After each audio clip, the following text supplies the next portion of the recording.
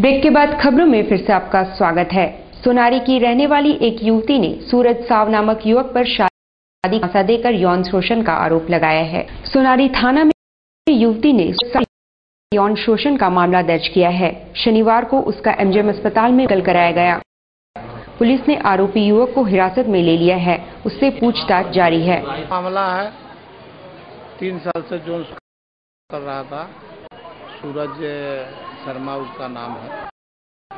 और रहने वाला जो है, आपको देखिए पांडे कॉलोनी का है। कहाँ का मामला। सोनारी थाना का मामला है। तो लड़की क्या कहती लड़की के शिकायत पर। मकदमपुर पड़ी में एक बच्चे को ऑटो ने धक्का मार दिया। उसके शरीर से बह रहे खून को देखकर उसे अस्पताल ले जा रही उसकी दादी बेहोश हो गई। उसे अस्पताल में कराया गया। मकदमपुर में बाहर खेल रहे रहमान नामक बालक को किसी ने ठोकर मार दिया। उसे लेकर उसकी दादी शबाना खातून अस्पताल जा रही थी मगर रक्त देखकर वह खुद बेहोश हो गई। उसे एमजेएम अस्पताल में भर्ती कराया गया है। मेरा बेटा का एक्सीडेंट हुआ ने टेंपू वाला कर दिया। वहाँ उठा करके पूरा नया एमजीएम लेके गए। नया एमजीएम ले जाने के बाद में वहाँ दवा हुआ लगाया बोले कि इसको ले जा पुराना एमजीएम।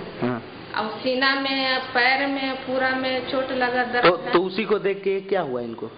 उसी को लाया देखी तो इसको देख करके चक्कर मार गया गिर गई।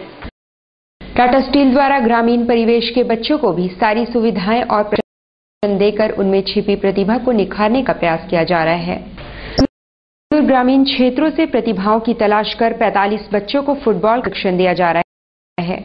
टाटा स्टील का प्रयास रहा है कि ग्रामीण क्षेत्रों में प्रतिभा की कमी नहीं है। सिर्फ़ उन्हें ढूंढकर सही मंच पर लाना और सुविधाएँ मुहैया कराने की ज़रूरत है। जारडी स्पोर्ट्स कॉम्प्लेक्स में उन बच्चों को कौशल अहमद प्रशिक्षण दे रहे हैं।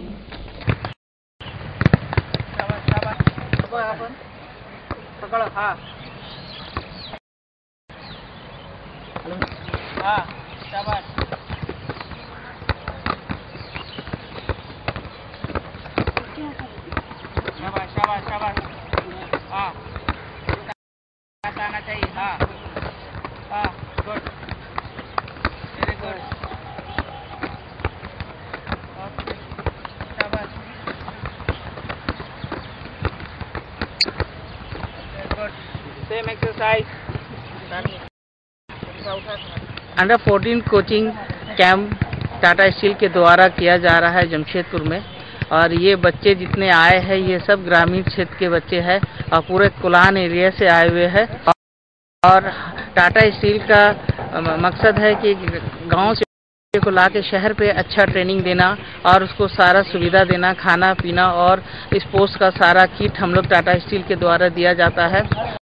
और हम लोग का लक्ष्य है कि ग्रामीण क्षेत्र में जो इनको नहीं है और सही से इन लोगों को वहाँ पर मैदान नहीं तो इसलिए हम लोग इन बच्चों को सेलेक्ट करके 45 बच्चे यहाँ पर कैंप में आए हुए हैं निरंतर सार्थक फाउंडेशन द्वारा निक्को पार्क में डीजे नाइट आयोजन किया गया जिसमें युवाओं ने संगीत की धुन पर जमकर लुत्फ उठाया